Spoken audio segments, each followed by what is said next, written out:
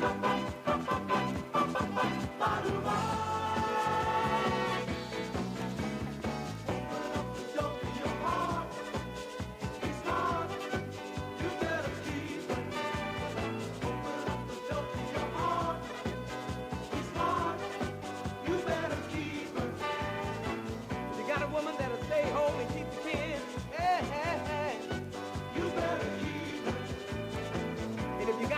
They go to church every Sunday.